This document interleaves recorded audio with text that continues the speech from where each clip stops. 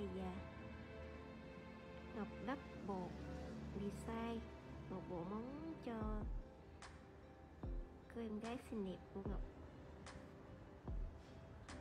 Vậy mấy thích tông màu xanh ha. Hôm nay Ngọc sẽ đắp design tông màu xanh.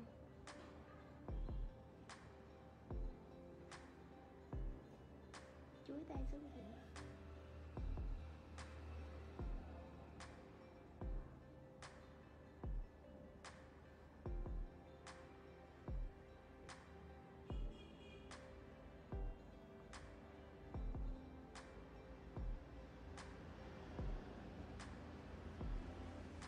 cái bột nó hơi à, hơi chảy nên ngọc sẽ làm từ từ.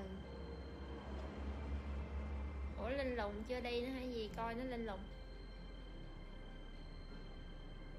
Trúc Linh đang ở đâu mà coi à, livestream vậy Trúc Linh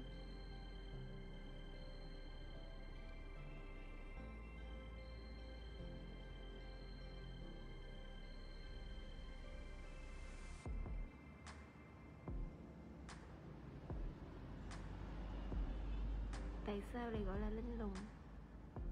Linh khí. Đây cả nhà ha. Mình sẽ đắp à, theo yêu cầu cái máy là tông màu xanh. Tông rê màu à, màu da lên.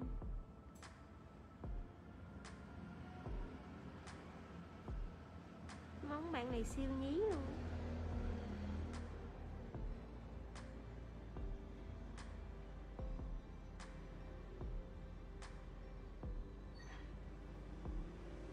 Bị sai à học bị sai lấy lộn bột rồi.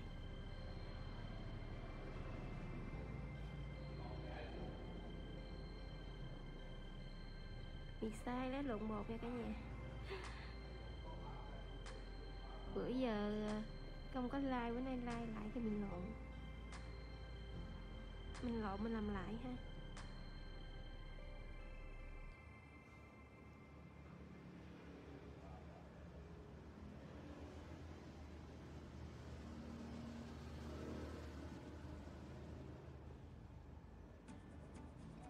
Đầu tiên là mình bị lỗi này, mình bị sai rồi mình làm lại.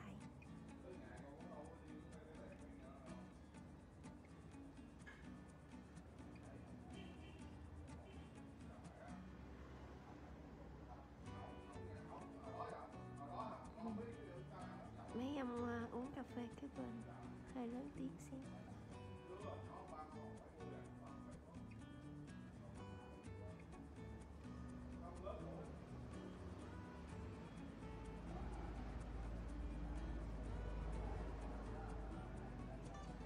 này lỡ cái ngón đầu tiên á lỡ bị sai lấy màu lộn nên là hơi bị lồng cộng xíu ha cả nhà. Mình đợi xíu ha qua ngón thứ hai đi. Cái ngón này hơi bị lộng cộng rồi bị à, rồi. Cái ngón này á thì à, tiếp tục mình sẽ đắp một cái màu à, đắp một màu. Thì bạn ấy thích cái màu xanh nên ngọc sẽ đắp hết tất cả màu xanh luôn ha. Mình lấy bột của mình sẽ để cho nó chín sau đó mình mới à, đắp nha. Ở ngoài này trước. À, bạn này thì cái tay hơi móng hơi bị nhí xíu. Ở nhà thấy không? Móng bạn siêu nhí luôn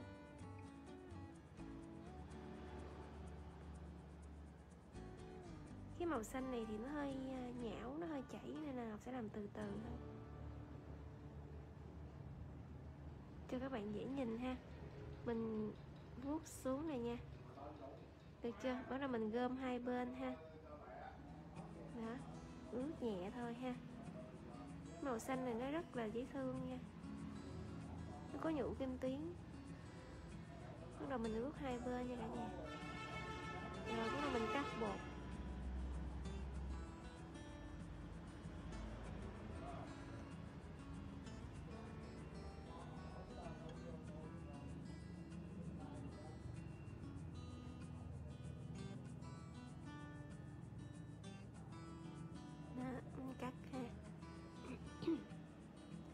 Hôm nay thì ngọc bị cảm nên ngọc nói mọi người ha. Hơi bị khó nghe xíu ha mình lắp một cục ở đó rồi bắt đầu mình tiếp tục một cục ở trên ha. Mà lấy một cục vừa thôi đừng lớn quá. Được chưa nè? Cái bột màu xanh này nó hơi uh, chảy xíu nên là ngọc sẽ đợi từ từ mới để lên ha. Và để gần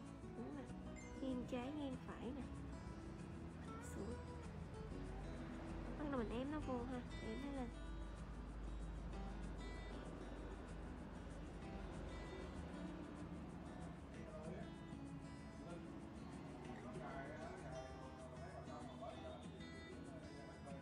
Ém vô ha.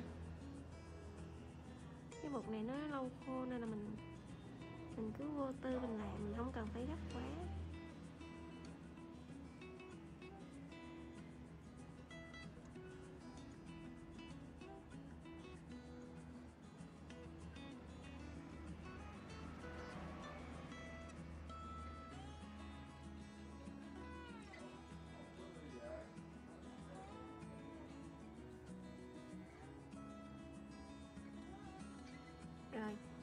Ngón này thì ngọc sẽ đắp design nha.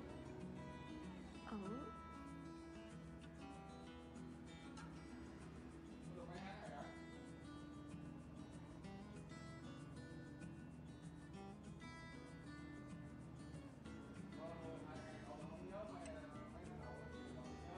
Ngọc sẽ đắp uh, à, một cục bột nhỏ trên đây cho nó tròn chung chân khóe chân móng nè ha tròn trong chân móng trước. Sau đó mình vuốt nhẹ xuống. Cái này mình chỉ cần một cái lớp mỏng thôi nha.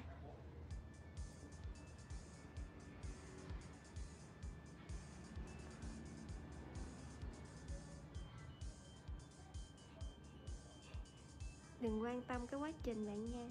Quan tâm cái kết quả thôi nha.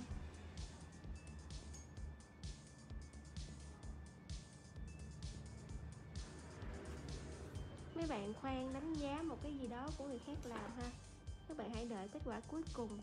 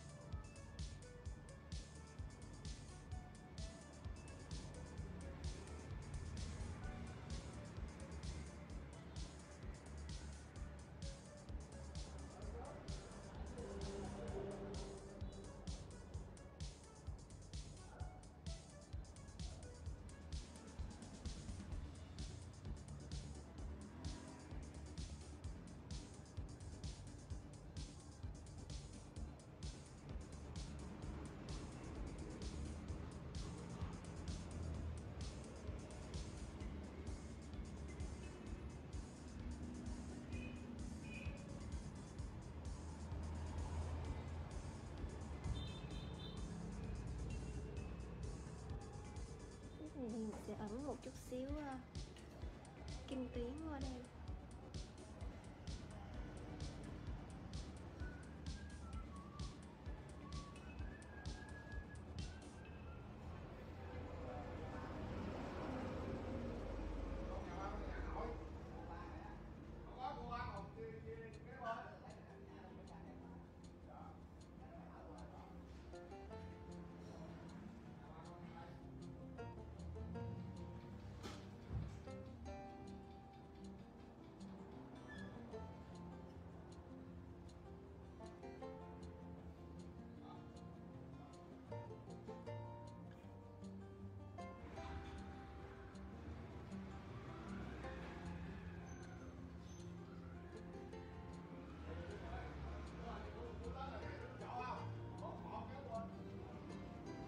Rồi, sau đó mình sẽ đắp bột lia lên nha cả nhà.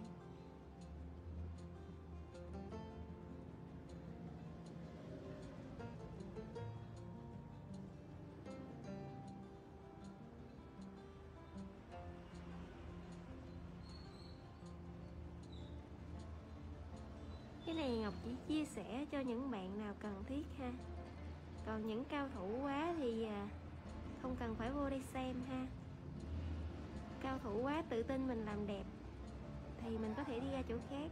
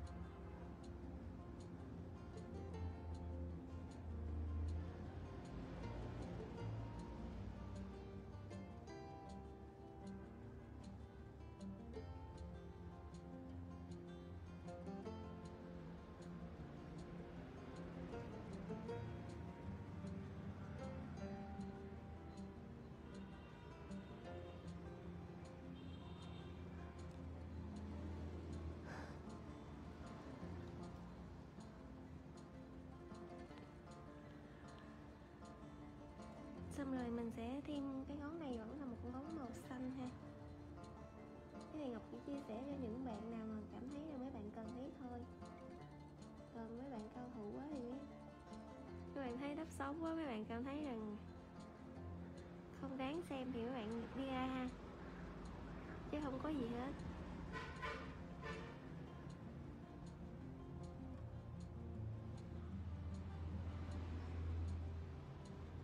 Bình thường thì những cái bột màu khác thì nó không có chảy dữ thì ngọc sẽ lắc nhanh ha. Còn cái bột màu xanh này nó hơi chảy thì ngọc sẽ làm từ từ.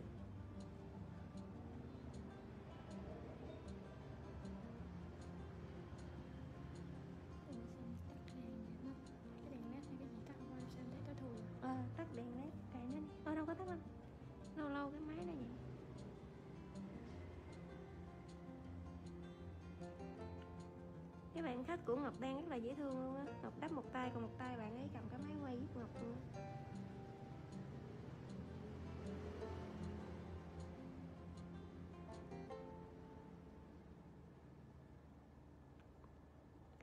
tại vì cái bột này á nó hơi nhão nó hơi à, lâu khô mà nếu mà ngọc chịu làm nhanh quá vuốt cái nó, nó rớt hết bột ra ngoài.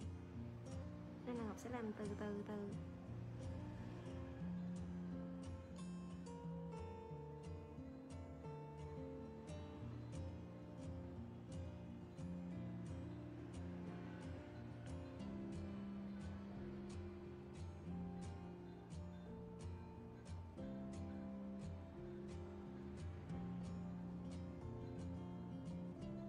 Thường á thì đắp bột á là không phải cứ là nét cọ nào mình cũng chuẩn cái nét đó là lỡ nhiều khi nó hơi gồ, nó hơi ờ, dày thì có thể là mình sẽ mài được ha. Mình sẽ chỉnh sửa được. Mình không thành vấn đề nha. Đừng có để lem khóe thôi.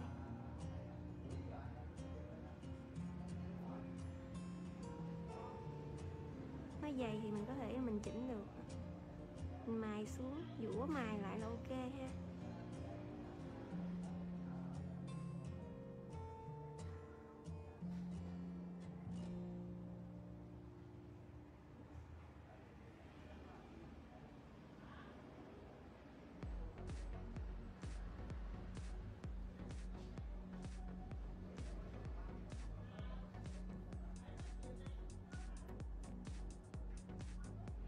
Rồi ngón này thì mình sẽ, ẩn kim tuyến kèm với lại cái màu xanh. Cho cái màu xanh nó hơi ít một chút. Lót một lớp mỏng bên dưới trước.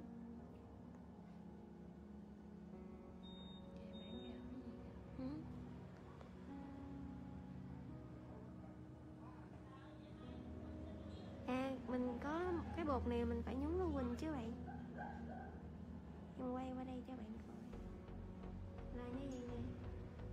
Tại vì ngọc đang để ở góc này, nên mình phải lấy nước chứ. Xong mình lấy bột nè.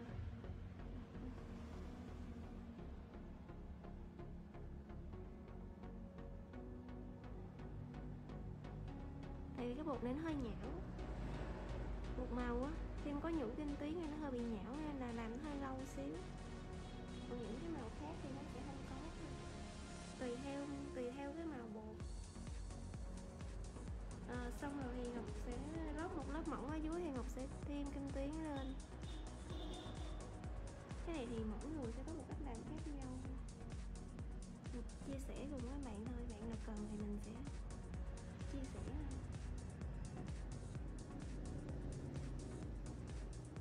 đã đỉnh đã giỏi rồi thì không cần phải à, xem. Tại vì cũng có những bạn đã làm rất là giỏi rồi, cũng có những bạn cũng mới. Và có những bạn đã cũng chưa biết gì ha. Thì mình nói gì mình chia sẻ cái đó thôi. Đây nè, chấm một chút xíu ly.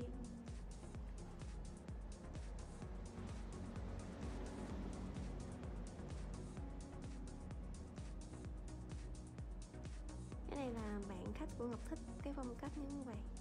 Thích cái kiểu mà có kim tuyến chiếu chiếu rồi thêm vài miếng sạc cừ chiếu chiếu. Sau đó mình sẽ đi à, một lia lên ha. Ở chỗ này nó hơi mốt một chút xíu thì mình sẽ thêm một à, chút xíu màu xanh ở chỗ này. Vô xong rồi mới đi lia.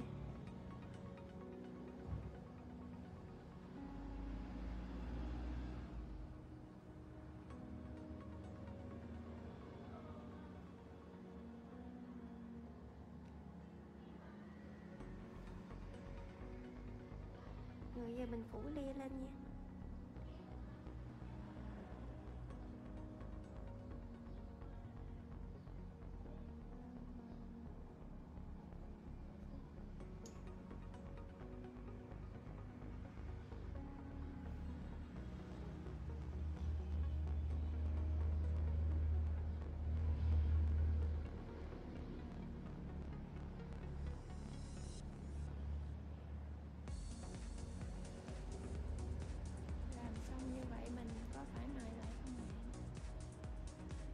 Mài lại bạn ơi.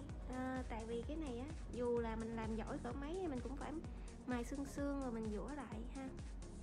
Chứ không ai mà double mà một lần là không mài luôn. Tại nhiều khi mình cũng phải chỉnh xương xương. Còn giống như giống như cái này nè ngọc đắp nó mượt như vậy thì ngọc sẽ mài ít còn lỡ mà lỡ tay á giống như cái ngón út vừa rồi á. Ngón út hồi nãy là cái bước đầu mà ngọc làm hơi lố. Nó hơi lố hay nó hơi bị dày thì ngọc phải mài nhiều chút xíu. Còn những cái ngón mà mình tại nãy mới vừa đầu like á. Ngọc làm nó hơi bị lố là lấy một lộn lấy lộn màu. Thì à, mình nó dày thì mình phải mài nhiều xíu. Còn nếu như mà mình làm nó mượt rồi á, thì mình mài ít. Mài xong mình dũa cái phơm nhẹ lại lần nữa ha. Rồi bắt đầu là mình tớp. Mình sơn tớp lên mình trang trí gì đó. Em dùng cọ số mấy vậy? Ờ, em đang dùng cỏ số 14 Cỏ số 14 Tại vì cái ngón cái ngón út hồi nãy là Ngọc lấy lộn cái màu. Để hai hũ kế bên nó giống quá nên lấy lộn xong rồi làm ra nó thấy ghê. Cái ngón này nó cực dày luôn à Mọi người thấy không? Nó dày thấy ghê luôn á. Thật ra thì không đợi mấy bạn chê đắp xấu đâu, Ngọc tự nhìn. Ngọc tự nhìn cái ngón út. Thì Ngọc cảm thấy là nó xấu. Còn mấy cái ngón này thì à, cũng không đến nổi ha, bây giờ mình sẽ mài dũa à, chào tạm biệt mọi người Ngọc sẽ mài dũa rồi sau đó Ngọc sẽ úp cái bộ móng này lên nha. Trang trí xong Ngọc sẽ úp lên. Cảm ơn mọi người đã xem like của Ngọc nha.